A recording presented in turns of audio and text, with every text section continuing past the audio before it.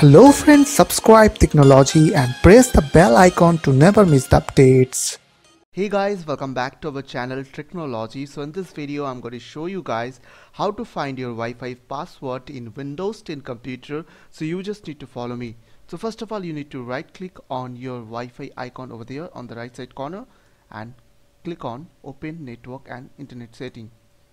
After that, you will get this window. So you have to scroll down and click on network and sharing center. After that you have to click on this Wi-Fi connection over there and you have to click on wireless properties. After that you have to click on security over there and now under network security key you will get one option is called show characters. So click over there now you can see your Wi-Fi password over there. So I hope this small video will really help for you and please don't forget to click on the subscribe button like button and share button. And if you have any queries or questions then comments down below. I will see you guys in the next one next video. Take care